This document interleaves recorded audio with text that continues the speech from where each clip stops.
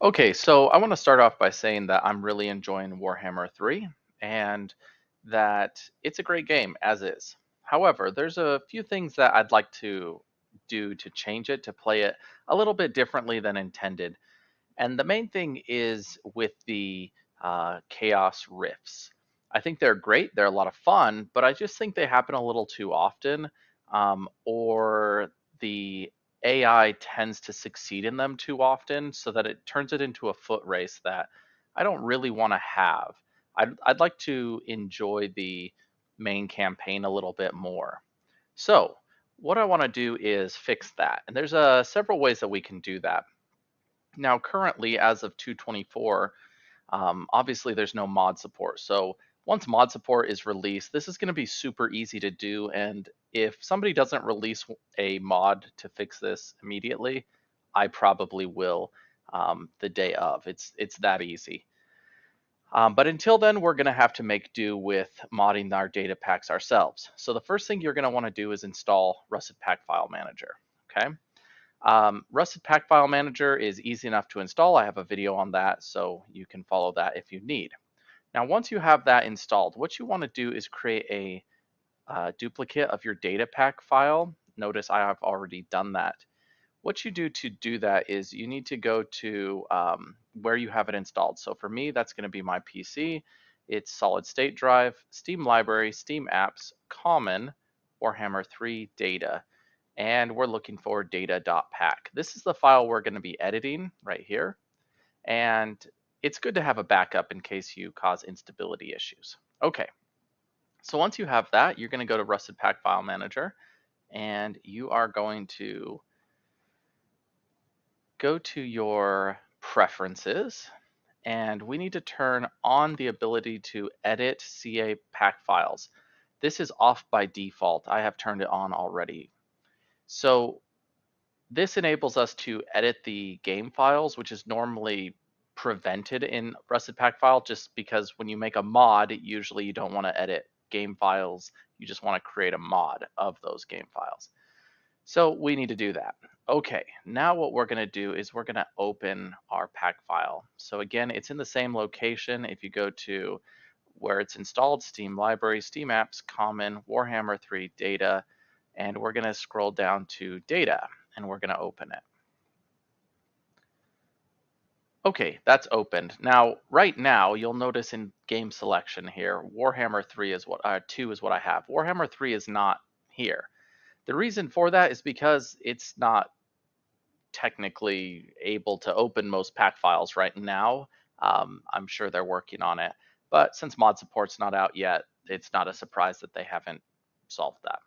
Okay, but that's okay. We, we can get away with the mods that we need to do. So we're going to scroll down to script. And in script, we have to go to campaign, main chaos, realms, realm common. Now, these are the scripts for the um, main campaign. And we're going to be looking somewhere around the 90s. Here it is.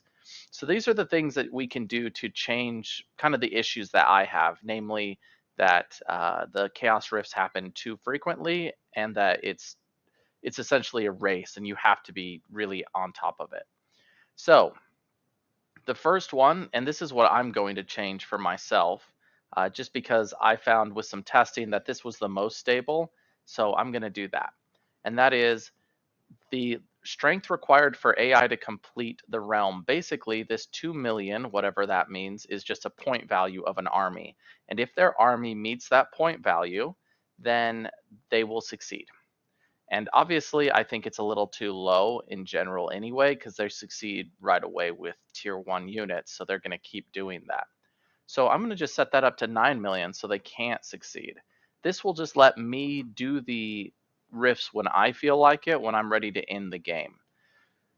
Now, the other option you have is to just push the rift uh, cooldown up. So currently the rift cooldown is 10 turns. So once the rifts uh, have their 15 turns and they close, then there's a cooldown of 10 turns before they reopen. So another way to fix this would just to increase the cooldown from 10 to say like 30 or 50 or something like that. A couple things to note is that you may have issues stability wise uh, if you change this and then try and start like a game that's already in progress. I'm trying to edit a game that's already in progress, so I found that this was kind of the better way to go. Also, you can change what turn the heroes spawn in and when the armies spawn in from the Chaos Rift. So basically, this is two turns in five turns. My guess is if you set the rift duration to be shorter, you probably want to change this as well, but that's just an assumption. Now, another option you have is somewhere at about 180, and that is you could set when the first rift opens. So here it's at about turn 30 is when it starts to be a potential.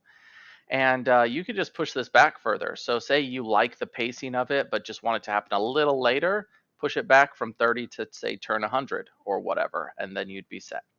So once we make the changes we want to make, in this case, I'm changing this to 9,000. That's the only change I'm making just so that they can't possibly win in there. They have to win by killing me. You will go to pack file and you are going to save the pack file. Now this will take a moment, but the nice thing about this is now we are set to go. We can open it up and run it. As mentioned, this change here with the local strength required works on games that are already in progress. You may find stability issues with other changes. It's just, you know, it's what it is. I wasn't seeing any stability issues with changing the, the strength required. So once that has saved, then we are good to go and um, you can enjoy the game and maybe enjoy the uh, grand campaign a little bit more without having to rush. So thanks for watching. Hopefully that helps out.